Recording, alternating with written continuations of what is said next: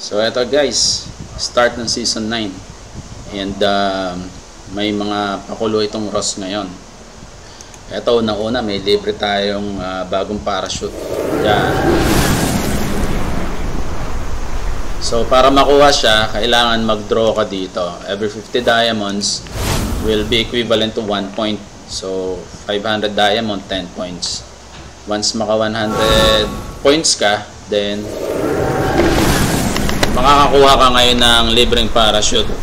And then next, uh, at the end of, of this video, ipapakita ko sa inyo yung training manual.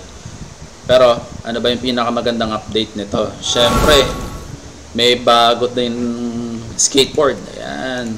Ganda. Testing natin in-game.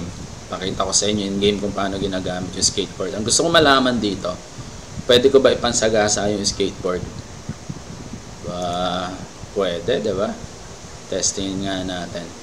Sa end nitong video na to guys, ipapakita ko sa inyo yung kung ano yung laman ng training manual natin para dito sa season 9. Let's go!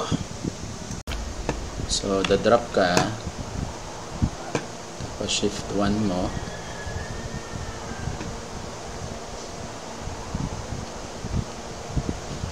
I just need a skateboard to appear.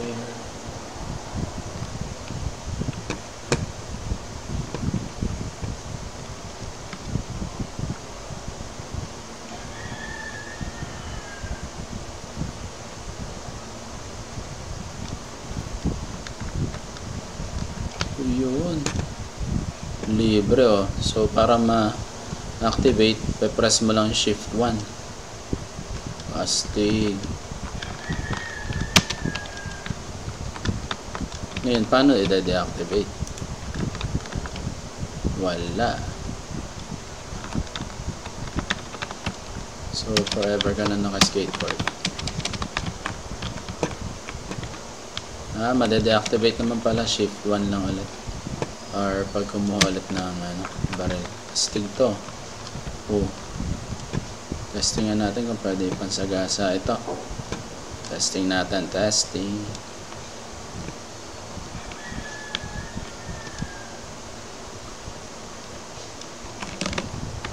Teka. Hanap tayo ng sasagasaan. Kahit bot.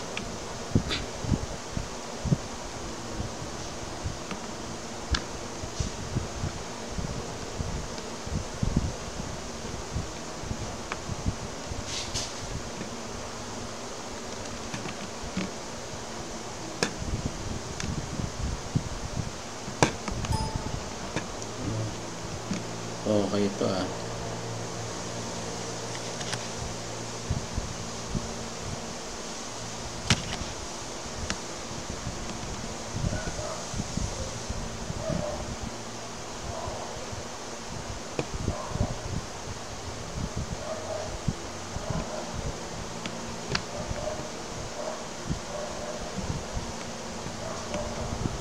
Lupet.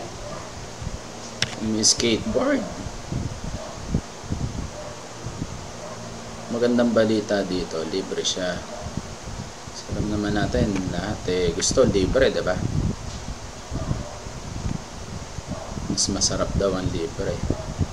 Unless sobrang yaman mo na lang. Wala akong pakialam kahit barilin mo ako. Okay.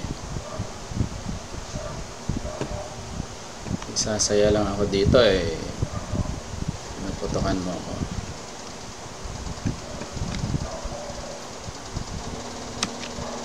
So ayan, deactivate siya ng bumangga. Streamer pala pangalan nito. Yun. Activated na ulit. Oh. So, bakit paparamdam ka dyan? Eh, ayaw ko naman lumaban. Ooh. Ganda. Ganda, ganda. Wee! Tingnan nga natin. Sagasaan. Hmm. Ito pala pwede sagasaan to. Alright, this time um, we're gonna check out the new the new suit given to us by Ross for this season. It's called the Cyber Slugger.